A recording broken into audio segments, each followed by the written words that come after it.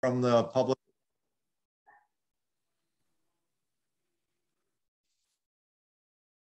Any uh, people from the public attending? We do not. Okay, and we got Sam with us. Sam, welcome. Thank you for coming tonight. Yeah, thank you for having me. We'll uh, review the minutes from the January meeting. Everybody have a chance to look them over? Didn't see anything outlandish. No, they look good to me too. So we'll ask for a motion to approve the minutes. Motion to approve. Any seconds? We'll approve the minutes from the January meeting. We didn't get much choice, Cindy. We had to do it. Yeah.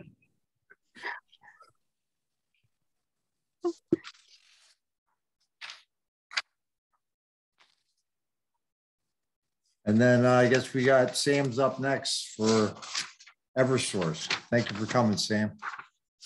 You're very welcome. Thank you for having me.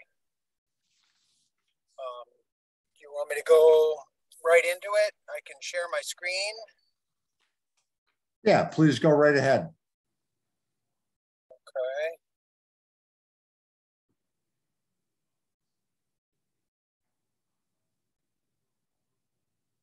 So the scheduled maintenance for this year, 2023, for the city of Norwalk, um, we're scheduled to trim 73 miles, roughly.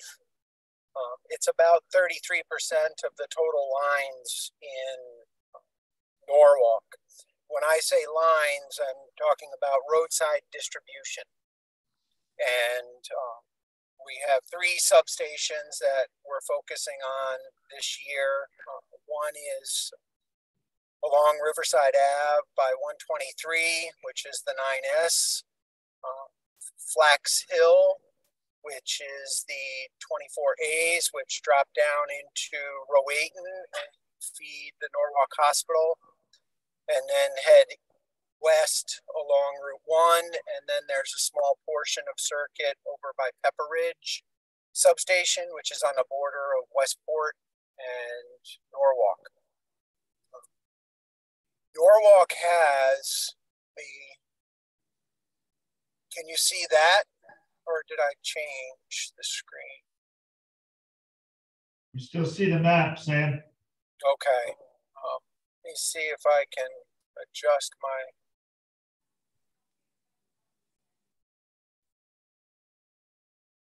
Screen. Okay.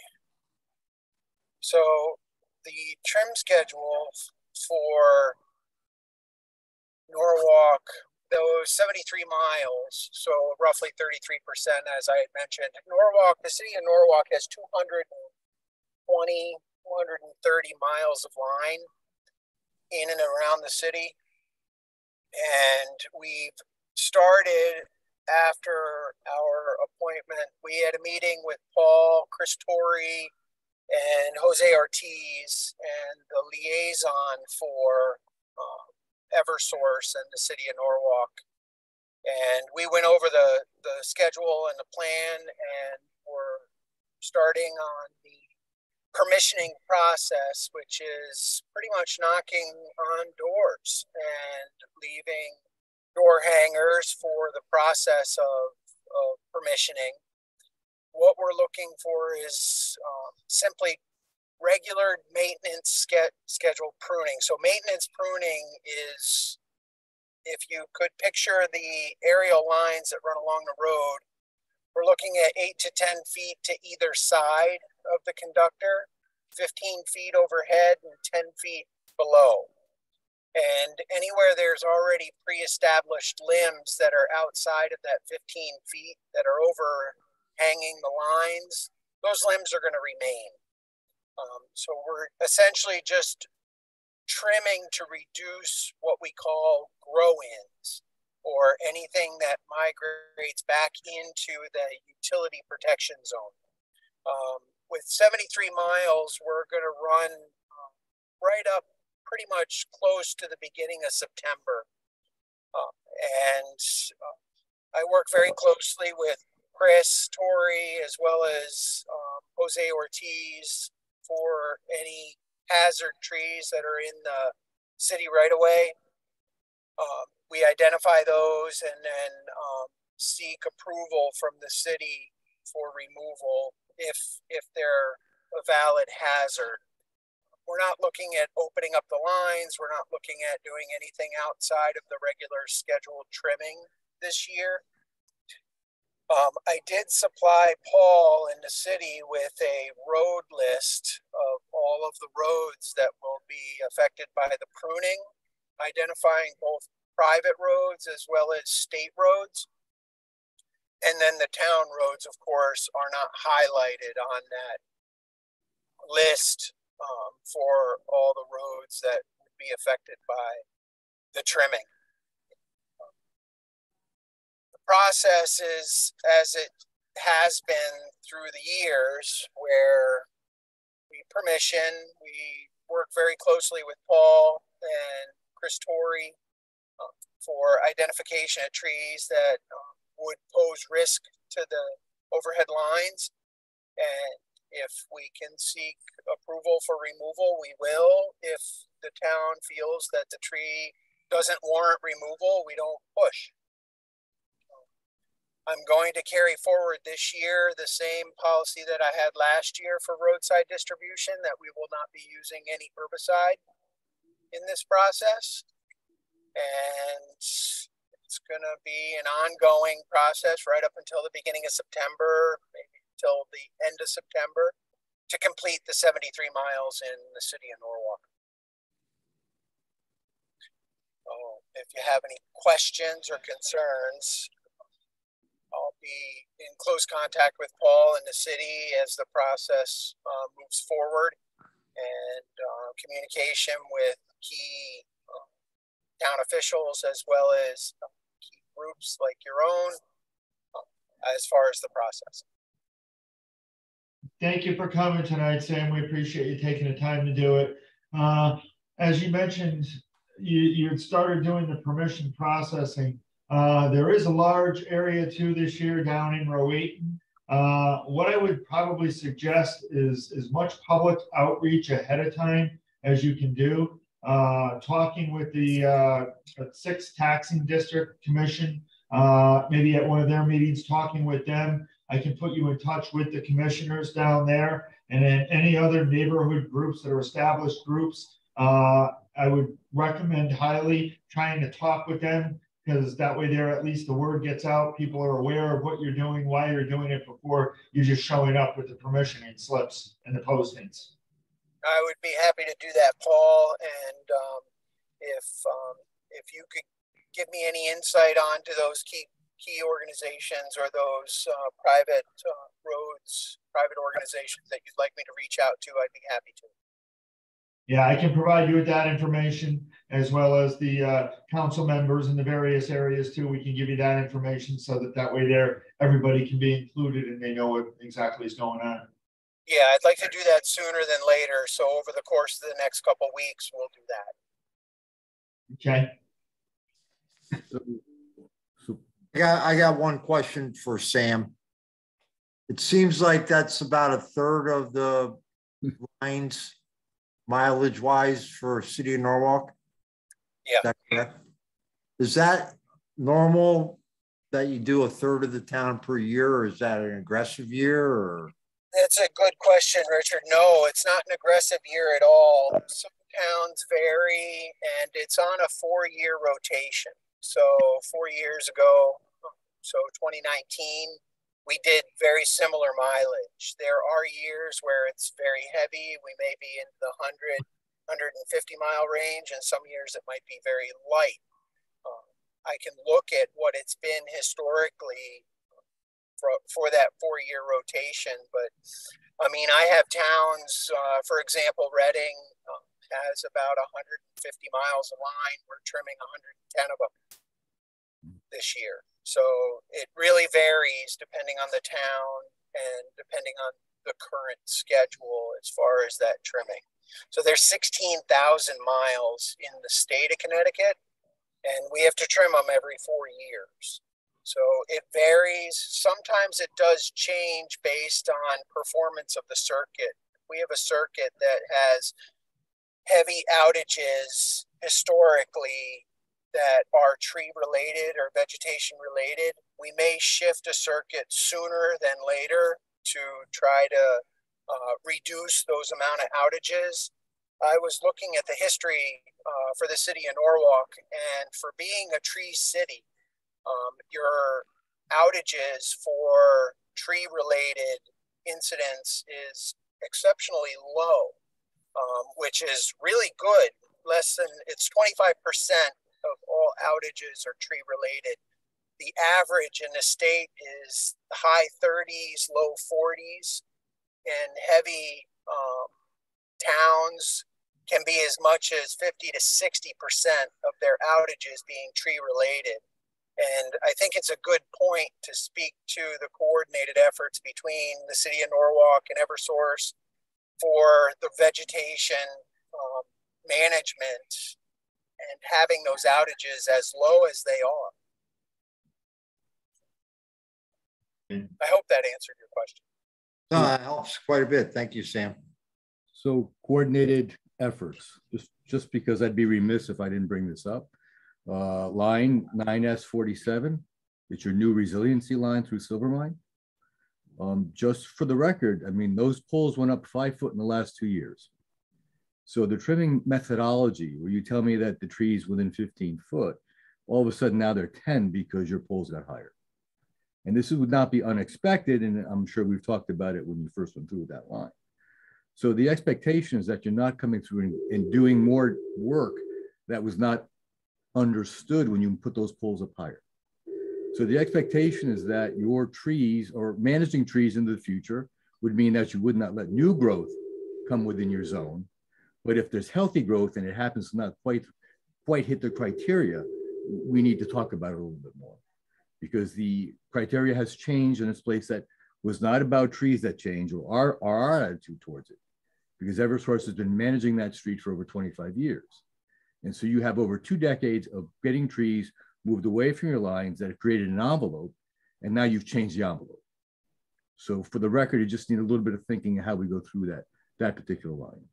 No, I, I appreciate that, Peter, and that's a very good point. Um, and the process of upgrading the system's infrastructure um, doesn't start with just throwing poles in the ground. We do do community outreach and let them know that the change for that construction would change during the construction. We're not going to set a pole and then come through and follow up with the trimming. But I, I see your point. Thank you.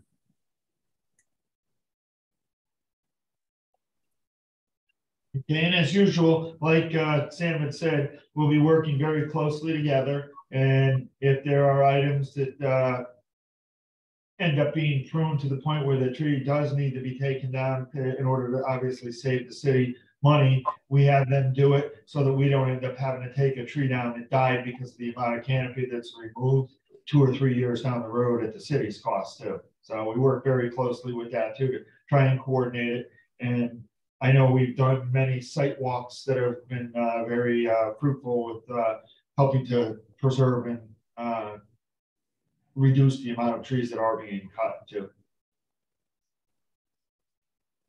Yeah, moving moving forward, we'll plant them further away, but we have what we have.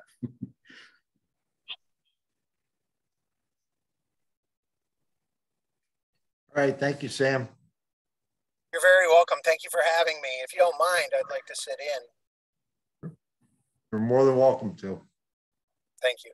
And there's an item coming up that you uh, had already mentioned too, that Rich will be talking about in a few minutes that I know you, you had mentioned. So it's definitely good to have you say.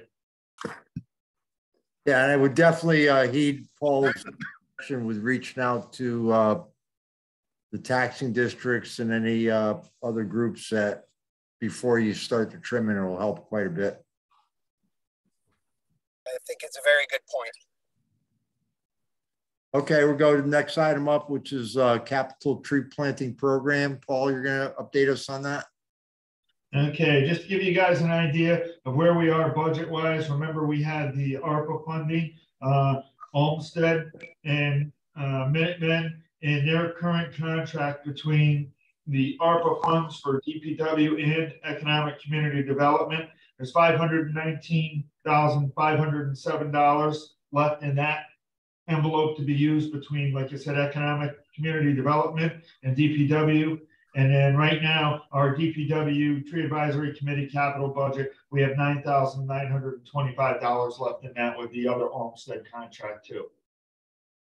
So we've got plenty of money to do a lot of planting this spring.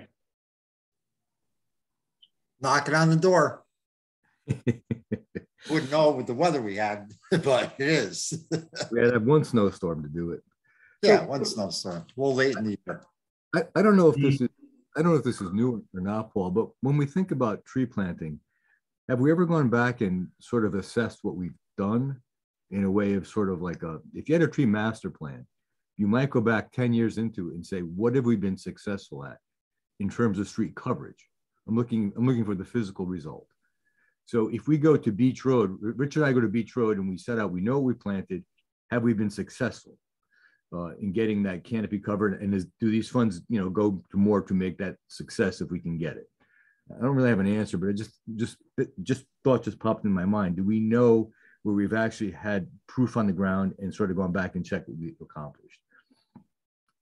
We've when we've gone out and done some of the, uh, uh, geolocating and put it into our GIS system, you take a look at some of the trees that we've planted and as we've now gotten uh, a more sophisticated geolocating system to do the work, you look at what's there with the pictures and stuff. And the people that have been doing it with the interns, they're taking pictures of six and eight inch trees. Elmwood Avenue, there's some very large trees up there that were planted back in the beginning of the program in 2006 and seven. So it, it's it's definitely accomplishing what we wanted to do because we've got quite a few trees that have grown significantly since the two and a half to three inch caliper trees that we put in.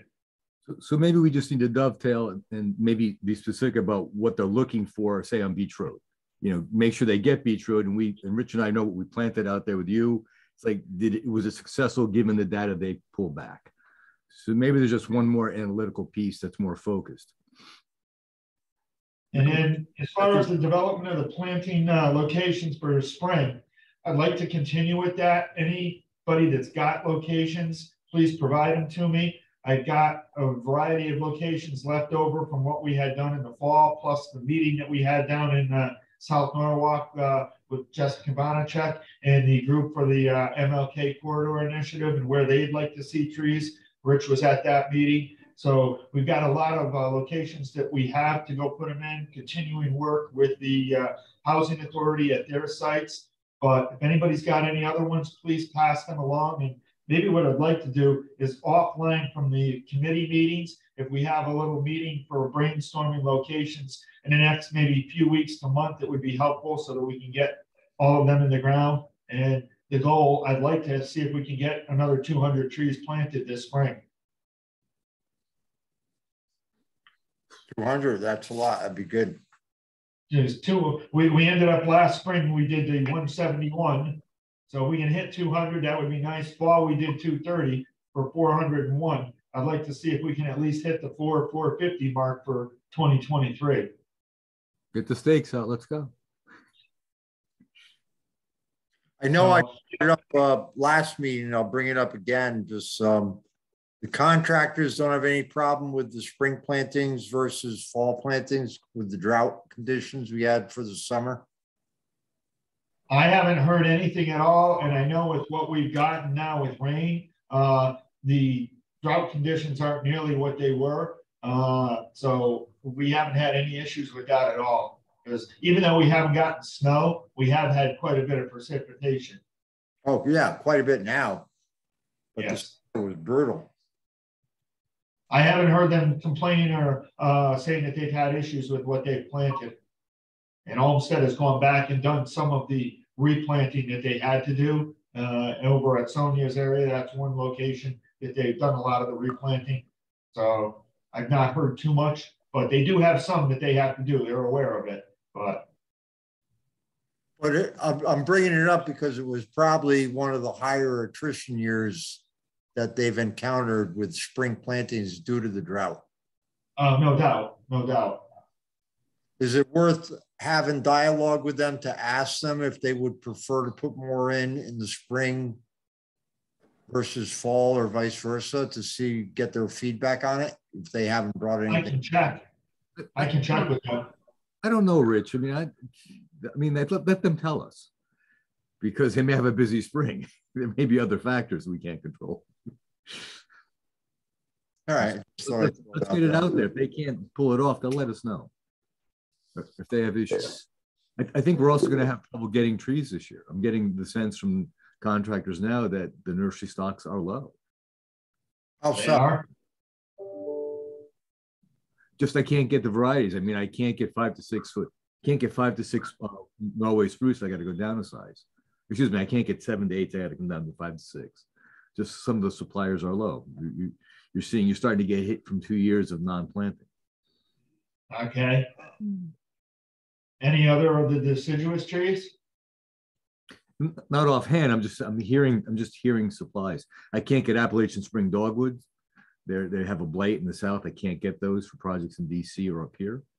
So there are just some quirks in the nursery trade that I'm just, are trickling down. And I'm hearing Merle. I don't usually hear this stuff in February. Okay, that's interesting. Well, I can have a conversation, because what I was gonna do is talk and maybe uh bring both contractors in for a quick meeting. Just go over some of that stuff with them, so I can discuss that.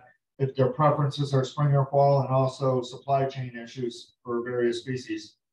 Because they can't do it in the spring, they'll do in the fall, except oaks. Yeah. Yeah, tree availability uh, would play an impact on that. They did the replanting in uh on my property because I don't recall seeing anyone out here and which trees they replaced. Okay, I know that Gary had told me that they were doing some of the uh, uh, trees where the uh, arborvitae's. They were replacing some of those, but we can check and make sure. And in the spring, we're gonna walk them all again to make sure that they were done too, that all of them were done. Okay.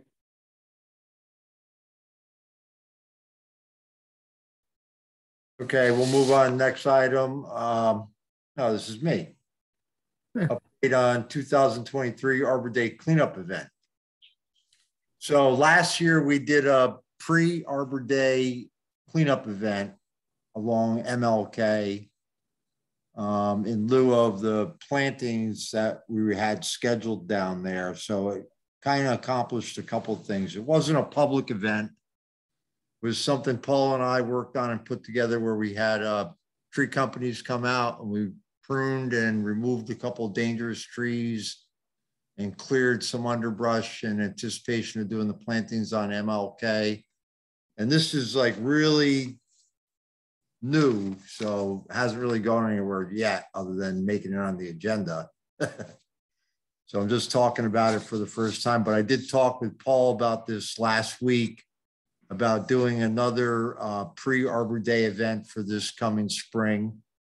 So we're talking about doing a similar event. We try to do it a couple days prior to Arbor Day, so it doesn't take away from the actual Arbor Day event. And I'm glad Sam's here because uh, last year uh, Eversource participated in the cleanup that we did along MLK. We had the city crews, we had private companies do it. And Peter would be interested because we're targeting the location for this year to be the NVRT over on uh, Riverside Avenue, which I think, Peter, you're working on doing some plantings over in there. So this may correspond into where you're doing the plantings, if any remedial pruning or cleanup work has to be done in the targeted areas prior Yeah. to the planting. No, I think, I think we, we can put, I think any effort there is well spent. It's high visibility, people are gonna use that piece of the trail, it's well spent and it's an ecosystem. When I talked with TNP, they had uh, recommended an area if, uh, because the area over by Riverside is still under construction, so they recommended an area between Union Park down toward the back of West Avenue, that area. So if we had some of that section of the trail, Richard and I are gonna go out and take a look at it, see what it looks like, and then maybe target that area this year. Since we don't necessarily want to go on to the area, it would be good to go over to Riverside, but we don't necessarily want to go onto it while it's under construction because the con, it's still under the contractor's control. The area between Union Park and I guess Belden or, or West Avenue, it's pretty harsh. So take a good look. It, it needs help. Okay, It's harsh. We, we got quite a bit accomplished, uh, last year. It was a half-day event. I think we had seven or eight, uh, crews out there. And we just kind of like hopscotched all the way down MLK and, uh, we got everything done that we wanted to and then some, I think. yeah, uh, it was a really good event. And it was before we were gonna be planting out there, so it worked out well. So that's why we talked about possibly doing it again this year. And I know I had talked with Sam a little bit and he had mentioned possibly uh, getting a couple of Lewis crews for half a day again this year, like last year. Yes, absolutely. Village crews are there, the city crews are there, so if they can participate, that would be well appreciated. Um, it's kind of a good location in the sense that it checks off a lot of boxes, you know, we just got the pollinator pathway, people down there, Norwalk Valley River Trail. Um, it's targeted for some plantings that Peter's working with the Tree Alliance on. Um, there's no traffic control needed on this because we're kind of off-road on it. Uh, there's no overhead, uh, utility lines we have to worry about. So it makes it safe for the private companies to go there and work on the trees. So we're working on it. I don't have a date just set just yet, but I see that, Paul, you put a couple days prior to Arbor Day, which I think is a good targeted, uh, calendar date. So we'll have to start hustling up and look at the site. I'm gonna review the site with, uh, Paul. And we'll get everything hammered out and then we'll update everybody at the next meeting for that as well. And then that's the uh, update on the actual Arbor Day event for Rowayton Elementary. One quick thing I want to do, I just want to welcome uh, Anthony Casuto to the meeting too. Uh, Yeah, glad to see that you were able to join us and see uh, if it's something you'd be interested in long-term. So thank you for coming. We appreciate it. Good. Uh, The update for the uh, planning for the 2023 Arbor Day at Rowayton Elementary School, we had the first planning meeting on Friday. uh, And Pr- Principal Cummings and uh, the people from Doubletree were there. Uh, We laid out the program like we've done just about every other year. Uh, There are a couple of things that we are going to do a little differently this year. I know we are going to try something that Erica had recommended with getting some books for the kids. And in talking with Principal Cummings, uh, we've got an idea for some books and she thought it'd probably be better uh, for the tree related books if we could supply them to the teachers of each one of the classrooms. So we're gonna look to get maybe thirty of the Fandex books that we have for like tree identification with the information and the facts. So that the teachers can uh, work with the kids in each of the classrooms on that. And then we'll look at doing some of the, they, they had thought that we probably want to continue with the uh, uh, seedlings like we've done. I know we were thinking about trying to do books for all of the kids, but from talking with the school, they thought that that would get very expensive because we're talking about four hundred and change children. Yeah. So we'll take and do a combination of what we've been doing a little bit in the past, as well as getting the books and giving the books to the teachers uh, related to tree stuff so that they can teach the lessons to the students in the classes. But overall, it went well. Our next meeting uh, is going to be at the end of March, and we're in good shape moving forward with that. And I know Sam had talked about possibility of a couple of trees and some of the seedlings and stuff, so we'll be talking with you again soon, Sam. Sounds good. Great. Okay, uh, do we have any other, uh, business that we want to go over before we wrap it up? I'm not- not volunteering for anything yet.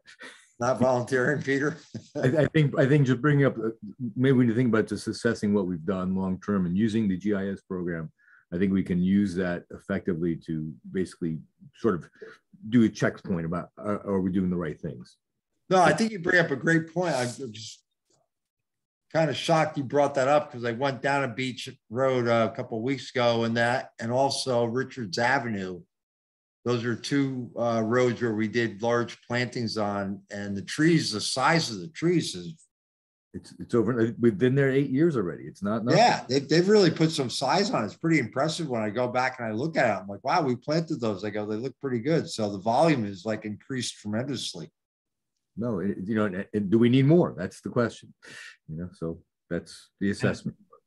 I think on So- Bucks, there's a couple of spots that need plugging in. So there's, uh, I think there's definitely a few more down there we could do, and that maybe should be something on the list for this spring or fall. planting. No, Definitely. Let's get our GIS crew out there to give us a check stone and we'll see where the holes are. Yeah, good point. So, uh, yeah, I would like to maybe I give you, uh, Rich and Peter a call in the next, uh, week or two and maybe see if we can have a planning meeting and see if we can get together and knock out a bunch of locations combined with what the people in South Norwalk with the, uh, uh, MLK Corridor Initiative grant had requested and put the pack together. And so we, we should have a pretty good robust planting for the, for the spring. Yeah, and uh, also when Paul and I get together to look at the River Trail area, Peter, if you got any time or if you're in town, uh, we'd love to have you uh, tag along on that. You can maybe fill us in on some of the areas that really need the work because it sounds like you're familiar with the site. No, no, it- it's, a- it needs work and I'm actually looking at like using, uh, what's, uh, got Acer pennsylvanica for a certain project and it's just, these native trees we don't think about much. So it's not on our list, but nonetheless, the North Yeah. Tree, Advisory, uh, Norwalk Tree Alliance might be able to get them. Acer pennsylvanica or Ostrya Virgin, Ostrya virginiana. I mean, these are nice trees to use along the riverbanks. How many trees are you guys targeting to put in over there? You know, I, I only have a commitment for ten, Ken? but ten is more than two. Yeah. Think think about positive. All right, well, we'll, we'll uh, shoot you an email, let you know when we're targeting on getting together and see if you can uh, tag along. Be great. I got the bike in the office. I'm not that far. Yeah, it's right around the corner for you. Actually, easier with the bike. It's quicker. Yeah. I want right, to well, the bike anyway. I want to get Paul on a bike. All right, well, that should wrap it up then. Thank you, everybody. I hope everybody enjoyed the late season snow and thank you for tonight's input. Great. Thanks, guys. All right, All right, thank thanks a lot. and We'll have you come back again next month, Anthony. I know you had a Thank you late night. much. Sounds good. Thank you. Have a Sorry good night. Thank you. Thanks, Ant. Take care. Thank you, Sam. Have a good night, everybody. Too.